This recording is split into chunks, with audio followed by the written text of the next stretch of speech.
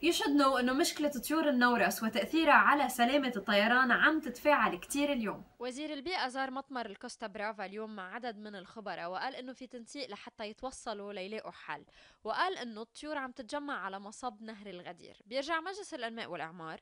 بيطلع تقرير بأنه بحسب خبير فرنسي اجى على لبنان بتسعة واحد يعني من كم يوم بس سبب تكاثر الطيور هو مجرى ومصب نهر الغدير.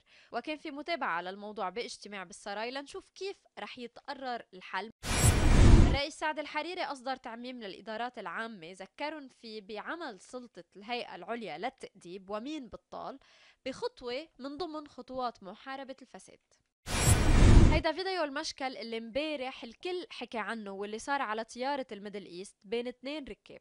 فطلع إنه واحد منهم تخانق مع مضيفة الطيران فاستنفر الراكب الثاني لحتى يدافع عنها وهيدا الشيء خلى الطيار ينزل بشكل طارئ بإسطنبول.